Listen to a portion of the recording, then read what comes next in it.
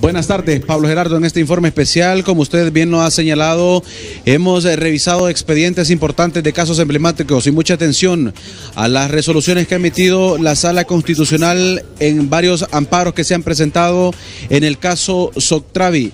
La Sala Constitucional de la Corte Suprema de Justicia ha resuelto admitir dos garantías de amparo con suspensión del acto reclamado presentados. El primera garantía de amparo presentada fue por el abogado Juan Carlos Griffith Ramírez y el abogado Luis Javier Santos, coordinador este último y subcoordinador primero de la Unidad Fiscal Especial contra la Impunidad y Corrupción. La sala resuelve admitir la petición en cuanto a la solicitud de suspensión del acto reclamado. Repito, la sala admite la petición de la garantía de amparo, pero en cuanto a la solicitud de suspensión del acto reclamado, previo la sala a pronunciarse sobre la misma, ordena que se proceda el examen de los antecedentes del informe de mérito, o sea, que se estudie el expediente de la Corte de Apelaciones en materia de corrupción que resolvió cambiar las medidas a los implicados en el denominado caso Soctravi en el que se le cambiaron las medidas a varios de los implicados. Según la resolución de la Corte de Apelaciones en el expediente que fue presentado en el circuito en materia de corrupción establece lo siguiente, y es que el pasado mes de mayo la Corte de Apelaciones en materia de corrupción ordenó el auto de formar procesamiento para el señor Walter Maldonado por su posible participación a título de cómplice en 21 delitos de fraude.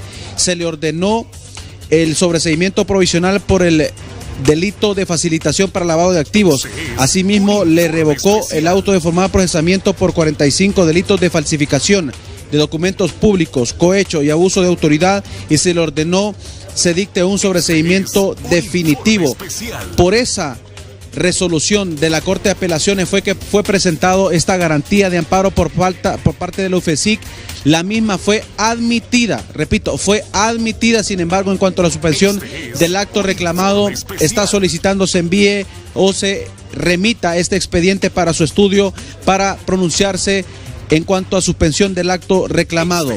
Asimismo, el otro amparo que fue presentado fue el que interpuso el abogado Juan Carlos Sánchez Cantillano y la abogada Carla Patricia Arita a favor del señor Walter Noé Maldonado Maldonado. La sala resuelve admitir el recurso de amparo pero en cuanto a la solicitud de suspensión del acto reclamado, también, previo a que la sala se pronuncie, ordena se proceda a examinar los antecedentes del informe de mérito. Es decir, que la sala admite la garantía de amparo a favor de la UFESIC y asimismo de los abogados Juan Carlos Sánchez y Carla Arita, pero en cuanto a la suspensión del acto reclamado de ambos amparos, está solicitándose en bien los expedientes para pronunciarse al respecto. Así que se han admitido estos dos, eh, estas dos garantías de amparo en el caso Soctravi aquí en la sala constitucional, compañeros. Eh, Denis Andino, todavía continúa reunión del Pleno ahí en la Corte Suprema de Justicia. Bueno, Pablo Gerardo, informarles que el Pleno de la Corte Suprema de Justicia ha concluido y el único, el único punto que se ha tocado este día fue el que recientemente informamos. La Corte Suprema de Justicia, el Pleno, hoy ha aprobado por unanimidad de votos enviar la iniciativa de ley, ley de gestión del expediente judicial electrónico.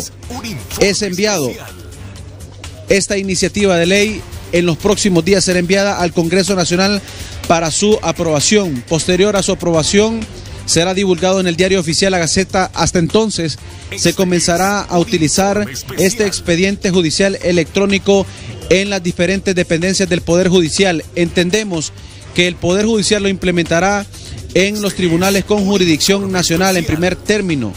Ahí se comenzarán a utilizar estos expedientes electrónicos, esto como parte del proceso de modernización del Poder Judicial y así reducir la mora que existe en este poder del Estado. Repetimos, ya ha sido aprobado por el Pleno de Magistrados esta nueva ley, esta iniciativa que será enviada la próxima semana al Congreso Nacional para su análisis y respectivamente su aprobación.